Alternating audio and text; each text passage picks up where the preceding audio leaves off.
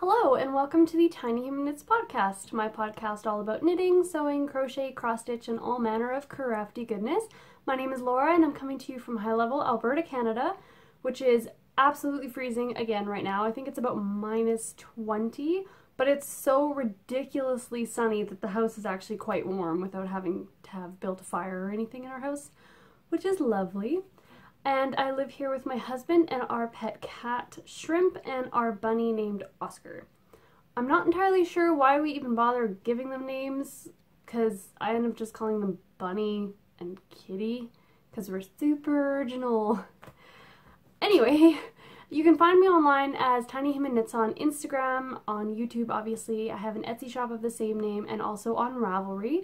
There's also a Ravelry group for the podcast under the groups tab as Tiny Human Knits Podcast. And we're currently having the uh, sweater weather cal that is going until the end of next month. And you knit a sweater from age three and up, and you can enter that to win prizes. I drew a prize a couple weeks ago, and I think the next time I'm going to draw a prize from the chatter thread is going to be next podcast. So if you are interested in either entering a sweater that you're already started, as long as it started was no more than 50% complete as of August 1st. You can enter it. And uh, so drop yourself into the chatter thread and I'll be drawing another prize for that next podcast. So check that out. Um, it's only going on for a little bit longer. I'm completely failing on the sweaters that I had planned on making for this cal. I was planning on doing like a a simple, intermediate, and then difficult pattern, and I had all I have all the yarn picked out and everything. I just don't listen to me when I say I'm going to do a certain thing next, because I'm usually full of baloney. Um, I even have sweaters planned now that had have had no previous mention before. I should stop saying what certain order I'm going to do things in and just, you know, fly by the seat of my pants like I normally do. But anyway, I have got no knitted stuff on today. It's actually really warm in here, so I'm not even wearing socks. But this is a sweater that I bought the last time we went to Edmonton, my husband and I, and it was just too cute. And I don't normally buy uh, clothing from retail stores, especially uh, places like Forever 21 or H&M. I used to shop there a lot, but I don't anymore because if any of you know, um, I think there's a documentary called The True Cost about what actual effects come from the fast fashion industry and just how miserable the people are who make those clothes, how little they're paid, and how much it's actually affecting our environment. Uh, fa the fashion industry is the second largest cause of um, pollution in the world. So if you think about that, and even if you think you're doing a good job by giving all your stuff to a thrift store or to charity, it's there's too much in thrift stores because people recycle their clothes so often. Usually they're garbage clothes anyway. So to me, to purchase, I didn't plan on talking about this, but to purchase a sweater or a dress or anything that's made in that way, it's not worth it to me. Um, this one was a bit different. It's a little bit more, the company that makes these clothes is a little bit more of a local, it's a small shop. I think they only had two locations in Edmonton. I don't know where else they are. Um, but they're a little bit more conscientious about who is making their clothes. But it's probably not even the best. I should have researched it a little bit more. But anyway, it was one sweater in a couple years since I've really bought anything from a store like that. But that's why I'm trying to make most of my own clothes now, which is one of the things I really love about knitting. And now that I have a little bit of sewing under my belt, I'm hoping to start making my own clothes in that manner as well. But that was a really long-winded way to say that I'm not wearing a hand-knit sweater today. Um, but I will mosey on along. I do have uh, one finished object today, and that is a pair, the first pair of what's going to be my husband's Christmas present, because we're not really doing Christmas presents this year, because we're kind of broke. Um, my husband just got a notice that he's going to start having, going to have to start paying back his student loans here right away, so we don't really have enough extra dollars to buy Christmas presents. So I'm just making him a couple pairs of socks. And he has uh, said that he's going to be making me sort of a, a picture taking tray, sort of like an Instagram tray. Because I've been taking a lot of product photos and Instagram photos on my husband's desktop that he made. It's not quite finished, it still needs uh, another layer of epoxy on it. But if anyone's seen my Instagram feed, there's that really, really gorgeous tonal table, the wooden tabletop that I've been taking pictures on.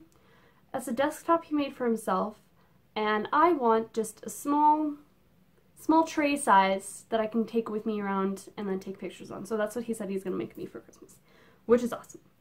Um, I also got my Woolberry Fiber Co. advent calendar uh, last last week, I think, or the week before, and uh, I didn't open it because I wanted to save it all for Christmas Day because I won't be getting any yarn as a Christmas gift, so I thought I'd keep that for myself. And my husband wrote to me from him on the box, so that's what, that's what it's gonna be. We both don't know what's in there. But anyway, this is my first pair of finished socks for him for Christmas. And this is knit in Drops Fabel in the Tex-Mex colorway. I didn't try to color or to stripe match at all. And I don't mind that. I don't mind that one bit. So for his socks, I cast on 14 stitches each on uh, Judy's Magic Cast On, and then I increased to 64. And because this one was patterned, I did a fish lips kiss heel, which is the first time I've ever done fish lips kiss heel for him. And actually, when I was a little past the heel on the first sock, I had to admit to him that they were for him because he, he didn't realize while I was knitting them. But I had to tell him that they were for him, and I actually needed to have him try them on because I have a couple other sets of self-striping yarn that I want to make socks for him in and I want to have those have fish lips kiss heels so I needed to know if it actually fit. So I got him to try it on and it fit perfectly fine. I actually had a very scary moment where I thought that I had knit the foot too short, but it was just that I uh, didn't put the sock on correctly because He's such a butthead. He had me put them on his own foot. But anyway, I knit these on 2.25 millimeter Addi sock rockets and they're done. Um, I did a little bit longer of a, a leg than I've done previously for his socks, but I think that'll be good because I didn't want to have a lot of leftovers and it's cold. It's very cold and he has to work outside a lot. I also used a different bind off. Um, I in other socks I've done Judy's uh, surprisingly, no, Jenny's surprisingly stretchy uh, bind off. But this time I just did a bind off where you increase by knitting or purling into the stitch below and then casting that off as normal by passing the first stitch and then moving that stitch along. So it's really stretchy and it does look a little bit better with a 2 by 2 rib, which is what I did. I don't know if you can see that. But it sits in front and back the same way as a knit and purl would, so it does look a little bit better. And I want them to be really stretchy because he's kind of rough on his socks when he's pulling them on, so that is my finished object for this podcast. I haven't had a whole lot of time to work on knitting projects this past couple weeks because I've been working on my big shop update, but that's done now. I'm going to be putting a couple more things in the shop as the month carries on, but it won't be as um, heavy on the products as it has been. I also have a hoe, and this was a test knit for my friend Rosie of the Pixel Atlantis podcast, and she's also Pixel Atlantis on Instagram. She released a new pattern for a pair of socks called uh, Christmas at Hogwarts, and she asked me if I would do a test knit for her, mainly to see if the lace panel worked out well on the on the sock. And I decided I was going to use a skein of yarn that I bought from her because she also dyes yarn. Beautiful, beautiful yarn. So I used a pair, a skein of yarn from her called Christmas Morning and I ordered that on our first anniversary, my husband and I. But this is a sock right here. I haven't had a chance to block it because I don't know if you guys follow me on Instagram, but we ran out of water yesterday our tank is empty. My husband forgot to order more water, and I've been melting snow just for drinking. Luckily, it snowed yesterday, so it's, it's a nice fresh powder, so uh, I'm really hoping it comes in soon because I'm really thirsty. Anyway, So this is the sock. I used a, just a simple, it's an afterthought heel and I used Knit Picks Stroll um, Glimmer. I think that's what it's called, I'm not entirely sure. But it's this beautiful red color. I've got some red, a lot of this, and some white that I want to make socks for myself out of for Christmas as well. And I'll show you the lace panel a little bit better. So it's really easy to memorize. I actually memorized this after the first round. It's a four row repeat and it's just super easy to remember. And it's really nice. And also I really, really, really love this yarn. So it's a top down and it's a twisted rib. In her pattern, it's just a one by one rib, but I prefer a twisted rib, so I did a twisted rib and I cast on 60 stitches. She's got a bunch of different sizes and there's um, it's really easy for you to put the lace panel on the back as well of the back of the leg if you want. I don't really care for that. I find that's a bit too much lace for a sock so I just did the stockinette on the back. But yeah. I just finished this the day before yesterday. I meant to do the whole like pair of socks but I got swamped by shop stuff, which is also fun. But I will be starting the second sock soon, but I might be using this pair of socks as a gift knit, so I don't know if I'll be showing it on the podcast again as a whole one, because I'm hoping to have it done and packaged up. So, yeah, that is my hoe. And that's all for, like, even halfway finished objects. My works in progress are one. I think I have one proper work in progress right now. And then I have a lot of planned works in progress. But yesterday I finished my husband's pair of socks, his first one, and my husband and I were watching uh, anime because we're cool kids. Uh, we're watching an anime called Haikyuu, by the way, if anyone's interested. It's about volleyball. And he always claims that he doesn't like sports animes, and I always make him watch them, and he always enjoys them, so I don't know what he's always complaining about. Oh, I've got the yarn all tangled in my needle. But anyway, so, and actually I should talk about, I have a lot of sock projects and smaller projects that I want to make for Christmas. Um, some for myself, some for my husband, some for my cousin Jennifer. And there's so many that I want to make that I get sort of overwhelmed when it comes to choice and it ends up taking me way too long to start a project. So what I did yesterday is I got myself a jar and I got little pieces of paper and wrote down all of the projects that I want to finish by Christmas. So every time I finish a sock or a small project, I can draw a new project out of the jar.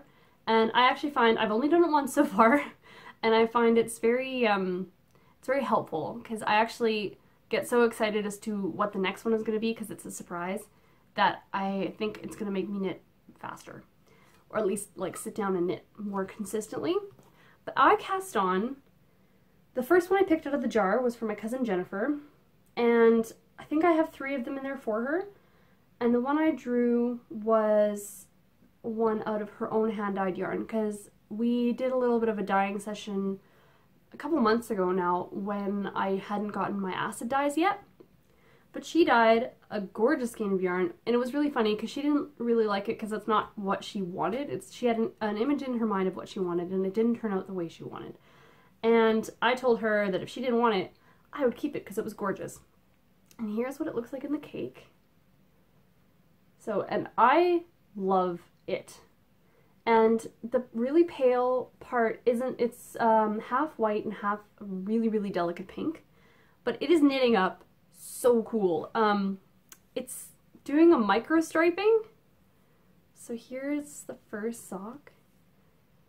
So it's like a micro stripe, but it's also spiraling. I hope you can see that, but it is so cool. And I'm really torn because I was hoping this project was going to be one that I could do a gusset and heel turn in because it's our it's our favorite. I've knit socks for her before and we both have the same sort of foot, so it's what fits the best. But I think for this, I don't want to interrupt this pattern, so I might do a fish lips kiss heel.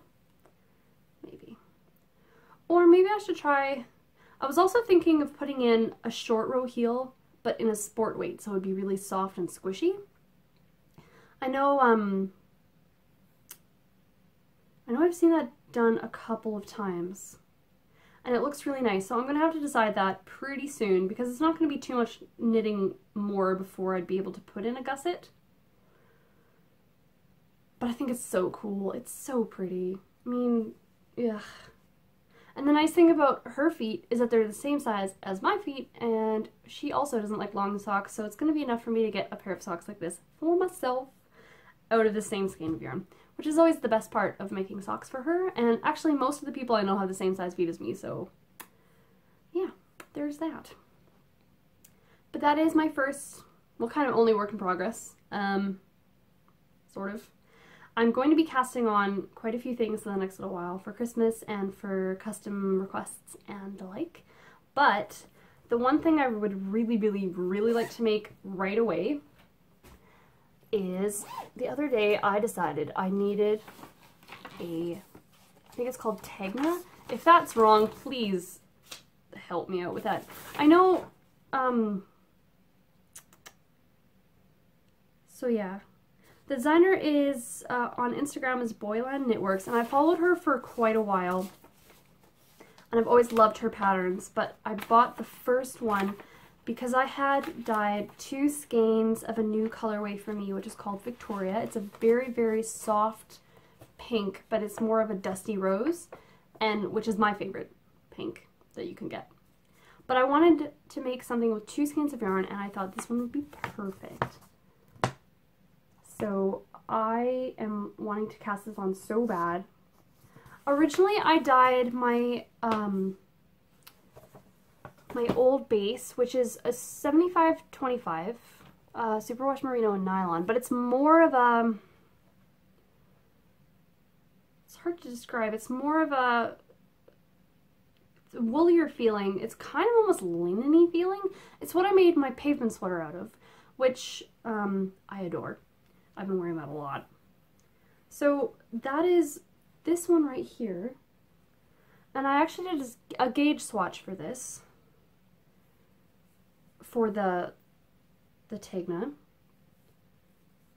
And um, I wasn't sure about it. I'm still kind of wavering on what I want to do, but I think what I might do is use what I dyed originally on this base and make another pavement sweater because I feel like I need more pavement sweaters.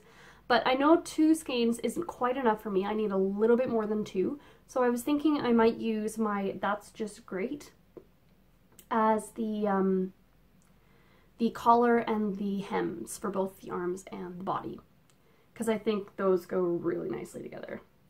So that might be something I cast on soon.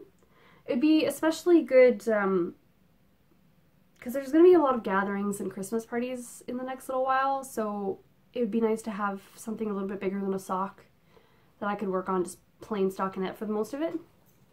So that is my pavement. So I decided I dyed up a couple more skeins of Victoria, but I got a new base for Christmas because I wanted the Christmas base to be really squishy and really soft.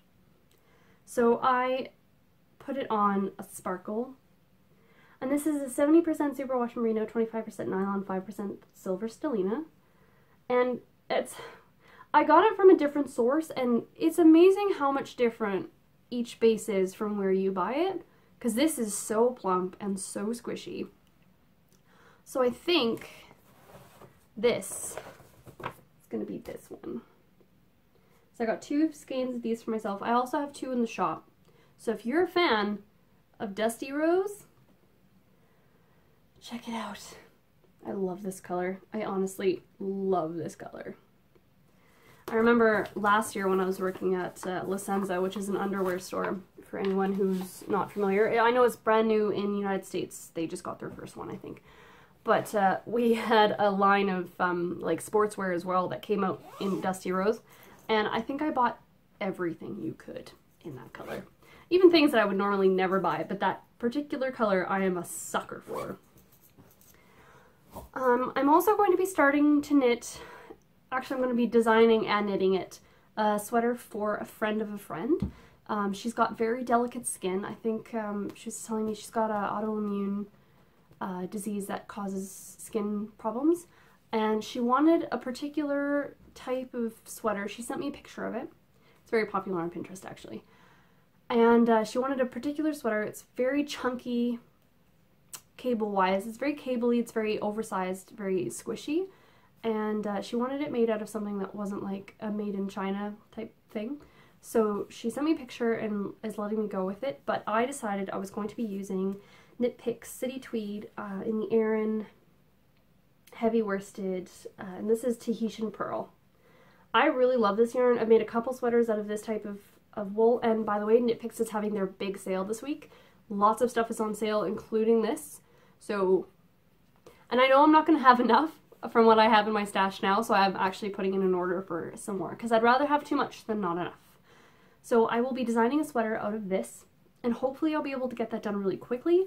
I, um, I always get a little bit weirded out by having to do my own designs, but I'm to hope for the best. Wish me luck. I'm going to give it my best shot. So that is another thing that you'll probably see on the next podcast. Um, I feel like the next podcast I have, I'm going to have way too many works in progress and I'm going to be like overwhelmed by it. Alas, such is life. So that's pretty much it. I feel sort of like flat today. Maybe I haven't drank enough water. That's probably it. But I don't have anything else. Besides my shop update, which is pretty gigantic. I've already sold a couple things, but I will show you. So if anyone's interested, I have a shop on Etsy. It's Tiny Human, it's on Etsy. I sell a little bit hand-dyed yarn. Um, I, I have a feeling my hand-dyed yarn portion is always going to be a bit more of a hobby. I guess it's all a hobby. But I don't see myself as becoming some great like yarn dyer that's gonna sell out in half an hour when they do an update. Like I don't think that's ever gonna happen.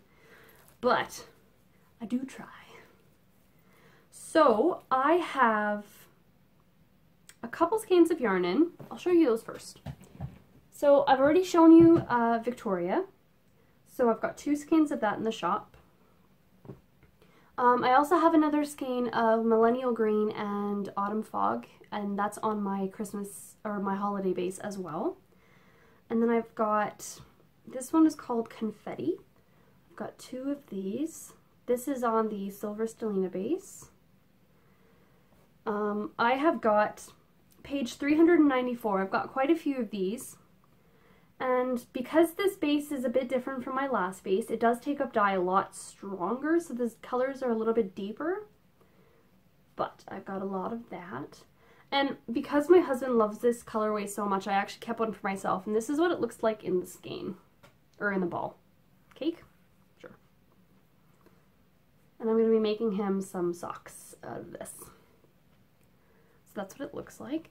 And then I also have my uh, my greatest uh, achievement, I think, right now, is Sugar Cookie. So I've got quite a few of these in the shop. And uh, they're all on Silver Stellina. I think I put, I think there's six left in the shop. And I'm thinking I might do a couple on um, just the 75-25 with no stellina in case some people don't particularly like the feeling of the stellina. Although there is only 5%, so it's not a whole lot, it's just enough to give it a little bit of glimmer.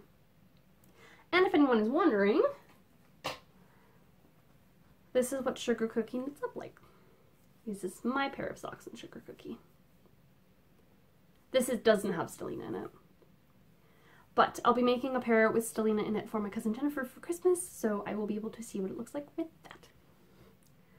So that is the yarn I have in the shop, and I also have a bunch of project bags. My favorite project bags, which is the shawl, it's like a medium large size, uh, big enough for a shawl or fingering weight sweater, or like six pairs of socks if you are so inclined. So I have got a bunch of these. They're all a little bit different. And I've done separate listings. They're all fully lined. I've done separate listings for all of them. I know it might look weird, but I don't like putting where you can click on an option on Etsy. I want you to know exactly which one you're getting. So each different listing will have the front, it's not really a front and back, one side and the other side and then the lining and uh, what zipper color it is. Because I don't, I don't want to be confusing. So I've got that one, this one,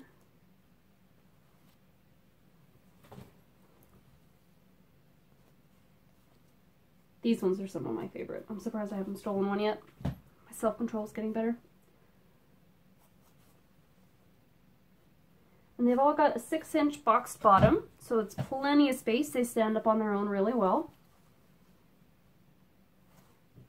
And they're all interfaced with a thick fleecy lining, or interfacing.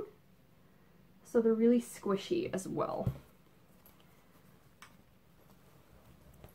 I've also got some of these. I've had this one and another one, which apparently I didn't bring with me.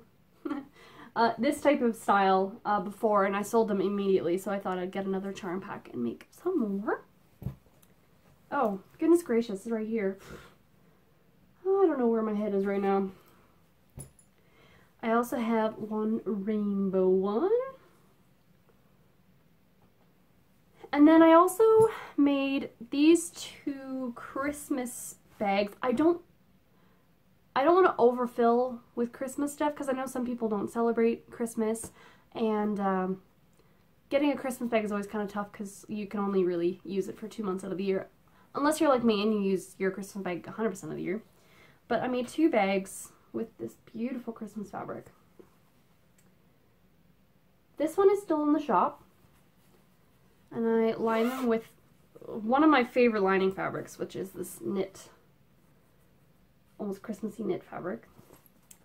Um, and then I also made this one. This one sold already. But I'm thinking I'll be putting some sock sacks in the shop in this fabric. So a bag just big enough. I was kind of imagining a sort of Toblerone shaped bag where it's kind of triangular. Um, just enough to fit a cake of yarn, your needles, and just a small notion pouch in. Um, but I will see how that goes because I do have plenty of this fabric left. So let me know what you think about that. And I might do it anyway because then I have a bunch of sock bags for myself. Not that I need them. I really don't. And I also have an absolute bunch of Knit Notions pouches. I've got, what is it, one, 11 different styles. So they all have their hand cross-stitched front panel. I've started using this uh, label as well. They'll all come with a zipper pull. There's no guarantee about what kind of zipper pull is on there, but they all have one. And this is the back. And then the lining. They all have um, sort of festive lining type situation. But I also have that one. That's the back.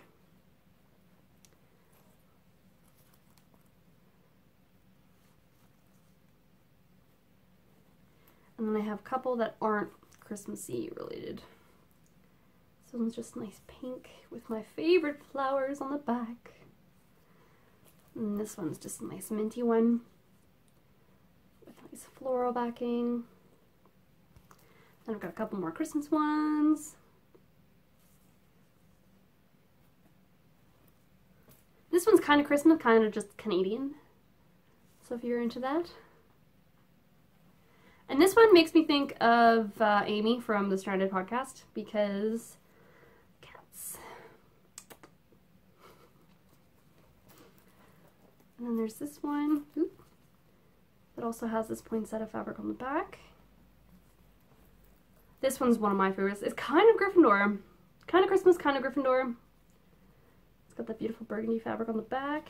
And then the last one, which is actually, I think it might be my favorite. Um, I ended up making more of this one than any of the others, most because like Naked Santa doing his stuff. That one's got a little snowman. And those are all in my shop. So I've got, I think, 22 pouches right now in the shop. Um, make great Christmas presents.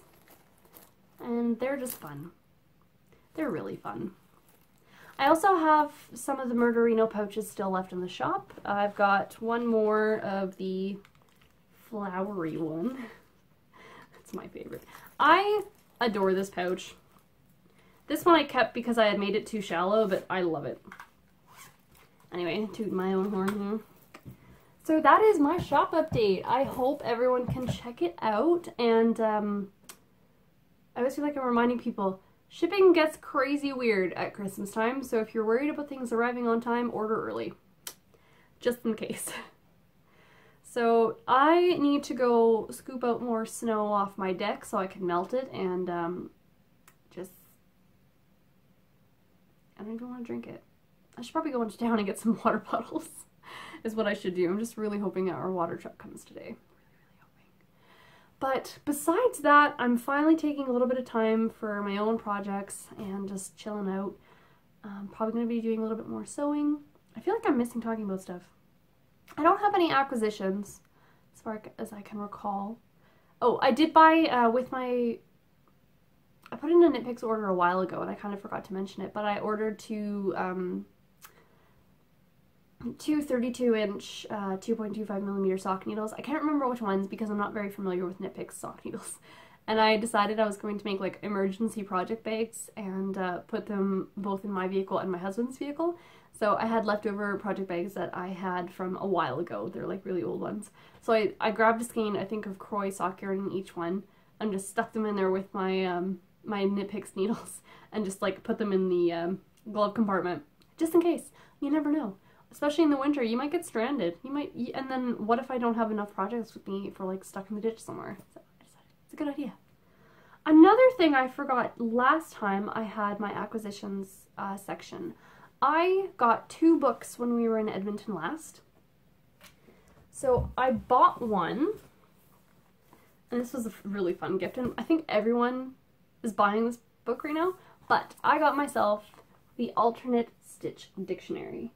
And I think it is beautiful, and I am so excited. I kind of wanted to design some mittens for myself out of some of these patterns in here, because I think they're so adorable. But I bought that one for myself, but my beautiful friend Elise gave me a present from the new yarn store in Edmonton, and she got me Laine magazine. And this is issue three, and I want to make everything in it. So excited by it. Like, look at that. It's beautiful. Seriously, I, maybe next year I should do a knit along of just Knit Laine magazine. That'd be crazy. I probably wouldn't do that because I'd, I'd fail miserably. But, or maybe knit something from Laine magazine. That'd be fun. Oh, speaking of knit alongs though, because I feel like I've come to the point where I've nearly have I nearly have enough yarn for, you know, if we got snowed in for a few years, I'd probably be fine. But I was thinking of starting a knit alongs on January 1st where you knit from your stash and it can't be anything you buy into your stash. It has to be anything you got for like from the last year. Although I am considering starting it on January 4th because with all my whole life, I've never counted New Year's resolutions until January 4th because my birthday's the 3rd of January, so I feel like if I start a New Year's resolution on the 1st, I can't really do anything. Like, if I get yarn for my birthday, I'd rather have it in my stash for the knit along. So, I think maybe January 1st, oh my goodness, January 4th, I'll start um, uh, knit along for knitting from your stash. And then I'll do the same as I've been doing with my sweater knit along, where I'll probably draw prizes from the chatter thread as it goes along, and then at the end have a grand prize. And I was thinking of running that for six months into the summer and just kind of just for me to knit from what I've got and not buy anymore because especially when I start working again I don't want all my money to go to yarn again. I love it but it's unnecessary so I have so much. I've got so many sweater quantities that I need to work through. But let me know if you're interested in that and I will give that a page and start it up as soon as possible actually because then you can start sharing what stash you would like to use. And maybe, you know, Christmas time, buy some more stash for the knit along. whatever you like, but I think it would be a good way to get everyone to knit from what they've got instead of buying more because I know a lot of people have a problem with buying a lot of yarn and then having it sit in your house for a long time. So let me know what you think about that and I will start that up. I'll probably start anyway just because I need my own motivation and this podcast is a really good way to get myself motivated for stuff, for everything really. But I think that's all I have to talk about. I'm gonna go do a workout, I think. It's important to keep yourself healthy. If you're sitting for long periods of time, just do some stretches, even if it sucks. But I'm to go do that and then try to clean my house with no water. So I hope everyone is having a wonderful uh, start to winter or start to spring and summer in some parts of the world, which is always weird to me, but ah. Hope you're all having a lovely time and I will see you next time. So thank you so much for watching and have a fabulous day. Bye!